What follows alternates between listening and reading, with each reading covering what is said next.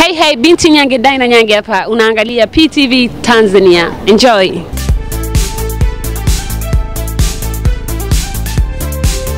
Sasa hivi kumekuwa na pilika pilika nyingi sana kwa wanamuziki. Unakuta mwanamuziki anafanya kiki, mwanamuziki anafanya tukio hili, lakini Dulayo hatujawahi kuona ukiwa na kiki, yani zile kiki kiki zile mikiki mikiki ile kwako Dulayo hatuione. Kwa nini umekuwa mwanamuziki wa pekee sana, hauna matukio yani? Kwa nini? Na ndio maana wanaamua kunipa matukio ili wafanikiwe, lakini matukio wanayonipa mimi hayanisaidii, yananishusha. Mimi sio mwanamuziki muongo, mimi ni mwanamuziki mkweli. Kwa hiyo na nachoki nachokifanyaga ni kitu cha ukweli, kwamba sitaki kuakti kwa sababu kuna kesho na kesho kutwa, na ndio maana hata leo hii tuko nyumbani, umeona, tuko nyumbani. Chochote tunachoona hapa ni cha kwangu, cha kwetu, umeelewa? Kwa hiyo hapa mimi niko nyumbani, bi mkubwa yupo hapa, kuna wadogo zangu, kuna kaka yangu, kuna nani, kuna masista nyumbani sija kupeleka kwenye nyumba ya mtu mwingine yote. Kwa hiyo mimi si fake, yani sitaki kuwa mtu fulani hivi muongo muongo, yani unajua zile, kwa sababu kesho na kesho kutwa mimi naweza nikapata matatizo ya ukweli ukweli, sasa yale makubwa ukajikuta sasa lazima uende kwenu kweli. Kwenu wapi? Ndio kule ulipokuwa unapeleka watu, watu wanahangaika, wanaenda huko, wanaambia mbona kwao huku, umeelewa bwana? Eh, huku sio kwao, ndio unakuta nyumba nyumbani ni nyumbani, umeelewa? Nasema maisha ya wasanii ya mtandaoni na ya nyumbani ni vitu vile tofauti kabisa. Yeah, Unakuta mwanamuziki mtandaoni anang'aa, nyumbani wanakoishi mwanangu da. kweli. Mimi nishawahi kuwa na msanii mwenzangu, simtaji jina, eh, ana gari, nyuma ya gari kuna viatu vyake nini, wa kike huyo, nyuma ya gari kuna viatu vyake kaweka pale. Ukiangalia unaona kabisa kwamba hivi ni viatu vya kwake, na gari anavyolitawala ni la kwake. Ananichukua, tunaenda huko, tunaenda huko. Siku moja tukaja tukaumbuka pale Kinondoni.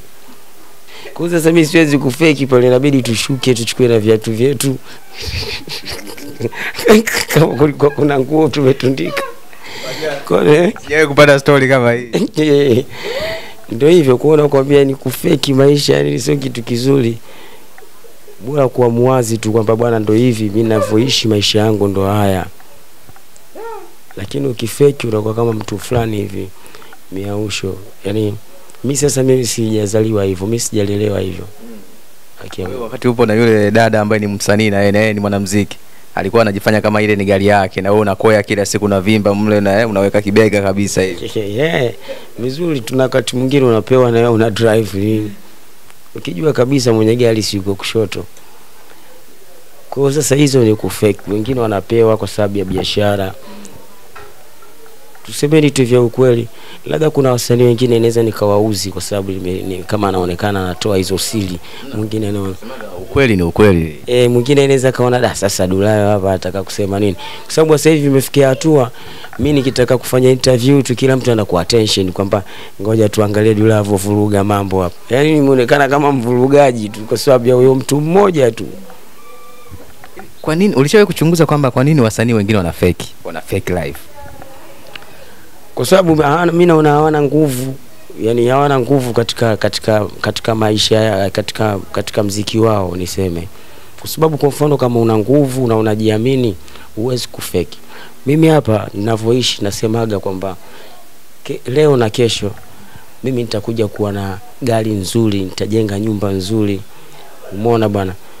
Sitaki kufeki kwa sababu baadaye nyumba ambayo nyumba ambayo nakaa mwenyewe akija akasema kuna wageni hapa, nikaondoka nikarudi nyumbani, wakati kule nishadanganya danganya hapa ninapokaa ndo kwangu na nini na nini, itaniumiza, afu nitawafanya watu wengine wakose kuniamini.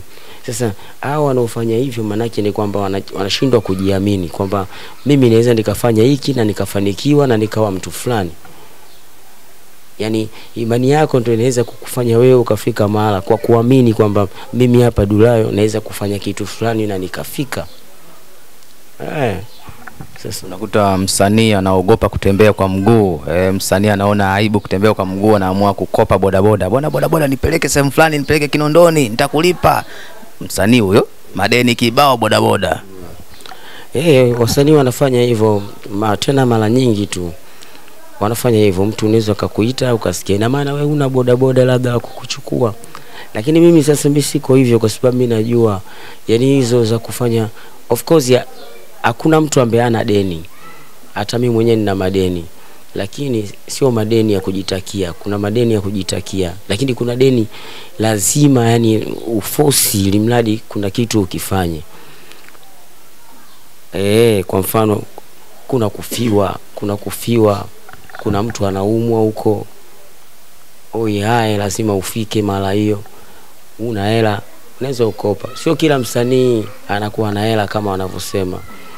Sema kutembea kwa mguu ndio wanaona aibu sasa wasanii. Sasa ukiwa na shida unatembea, kwa simu, kwa nini usitembee? Mbona zamani ulikuwa unatembea? Kwamba aibu ile kwamba da huyo si huyo si mwanamuziki yuko kwa nini anatembea kwa mguu huyo. Kawaida sana, kawaida sana. Mimi natembea kwa mguu, natembea sana kwa mguu.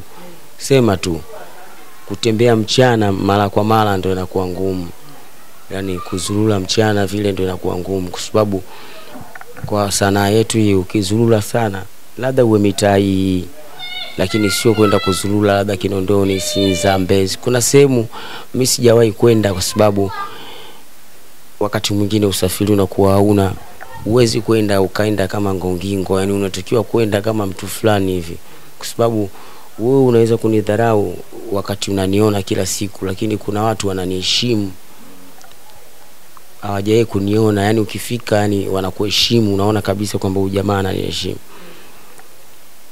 Sasa kwa mtaa mtaa kama hivi, mimi hata nikitoka hapa, labda shikamoo watoto, malaba nini na nini na nini, kusha habari, utanunulia sambusa kama unacho kama una anko baadaye anko baadaye umemaliza hilo zoezi utaondoka watu wakushangai lakini ukitoka hapa baada ya vituo vitatu vinne unafika mahala Hivi Dulayo, kwa nini upati madili? Ha, ha, ha, hatuoni bwana Dulayo kapata ubalozi. E, hatujawahi kuona bwana Dulayo ukapata ubalozi wa kampuni fulani. Kwa nini upate ubalozi, madili ya ubalozi? uh, zile zinategemea na connection. Alafu unajua sisi watu wengine tulivyojiweka kuongoza kitu yani sisi tunakuwa ngumu. Kwa mfano kama mimi nikawa balozi labda wa Pepsi kama vile alivyokuwa Kala umeona? Kuna baadhi ya vitu sisi vinatushinda tuseme huko kweli. Kwa sababu sio mimi tu. Hata kina inspekta wale kina Juma wote walitakiwa kuwa mabalozi, lakini kuna baadhi ya vitu sisi tunashindwa kuviendesha. Huwezi kutaka kuwa kiongozi. Kiongozi ni kitu kikubwa kuongoza kuongoza watu kufanya nini. Hivyo ni vitu vikubwa sana. Kwa hiyo sasa mimi wakati mwingine kuongoza watu nashindwa.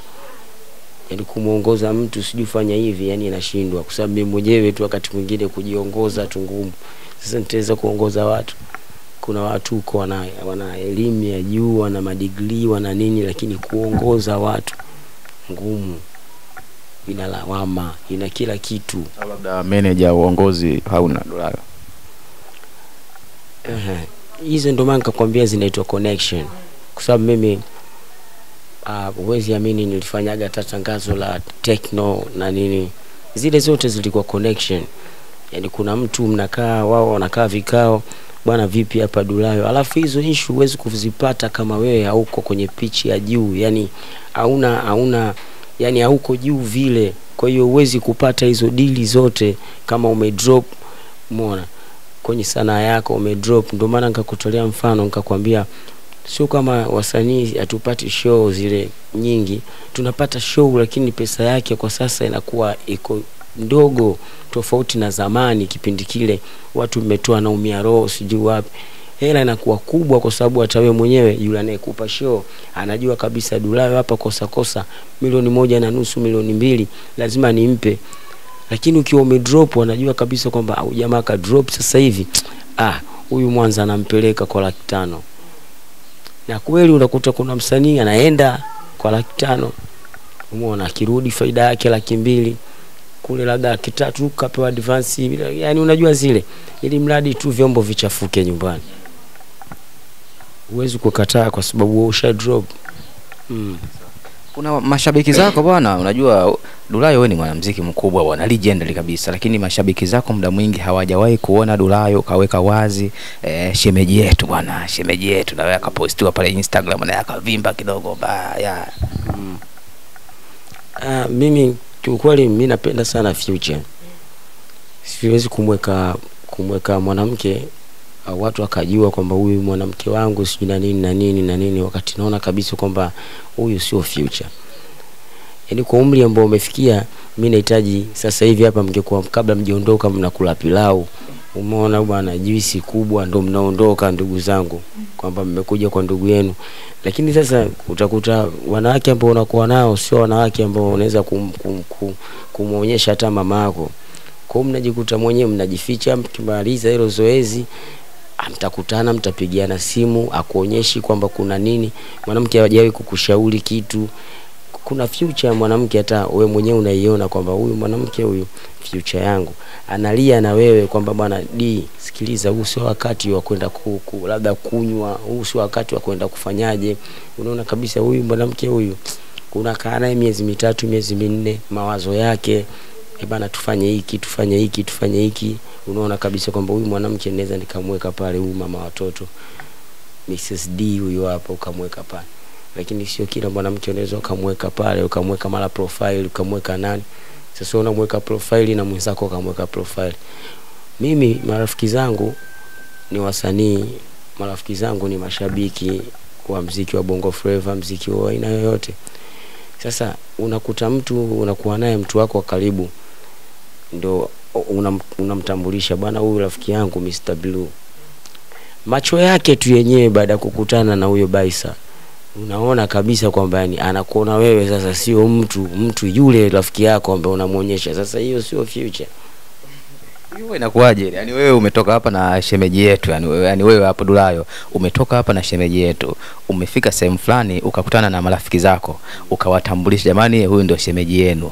Eh, halafu baadaye Yes, unaona yani unakuwa macho juu juu, yani wewe unamuona kabisa kwamba ukimwangalia unamuona kama eleweki eleweki. Kuna vitu unaweza ukaongea akaanza kukupinga pinga, akaongea yule ukasikia "Eh, hiyo kweli bwana, hiyo kweli. Yani kama kuna nguvu fulani hivi anampa yule mtu ambaye ni rafiki yako, umeelewa, kwamba aonekane kama anakuwa bora hivi. Maana yake ni kwamba pale uwezi sasa ukitoka ukienda toilet, lakini ile nyimbo yako fulani ile ujue naipendaga ile, siwezi kwa video kwini, sijui video nini anaanza kujisemesha semesha. Kwa hiyo hivyo vitu yani wewe unaona kabisa kwamba huyu hapa tu kakutana huyu msanii wa laki tatu. Je, huyu akikutana na msanii wa milioni mbili huyu atapagao. si ndio atanifedhesha huyu? Kwa pale ndo unapoanza kuona hii hapa sio future, hii hapa future hivyo. Bwana Dulayo, tumezungumza vitu vingi sana, labda baada ya juzi kupiga isho ya marijendari kuna kitu gani kipi ambacho kinakuja kwako? Ah, kitu kipya ni kutulia kwanza, kwa sababu sasa hivi kidogo nina nina viomaoma hapa vili vitatu. Cha kwanza kwanza afya ikae vizuri, afya ikikaa vizuri, basi naanza kutoa nyimbo, kwa sababu tayari nimeshoot, lakini kuna baadhi ya vitu lazima kwanza urudishe afya yako vizuri, ili ushuti uwe na mwonekano mzuri, basi nitatoa nyimbo. Na nyimbo na Baisa Babylon, na nyimbo na Wecho Kizunguzungu na nyimbo na Professor J na nyimbo nyingi tu na nyingine nimefanya mwenyewe. Kwa hiyo nilitaka kufanya IP wanaita zile, lakini baadaye nikapata mawazo, watu wakanishauri kwa nini usitoe album. Kwa hiyo bado sijaamua nifanyeje, lakini kikubwa ni kwamba kazi nzuri zinakuja na watu wasubiri mziki mzuri, watu wasisikilize hawa mangongingo ambao wanatuposti na kusema sema vitu ambao watu wajui. Watu wajue kabisa Dulawa niko sawa na maisha yanaendelea inshallah. Hey hey, binti Nyange daina Nyange hapa, unaangalia PTV Tanzania. Enjoy.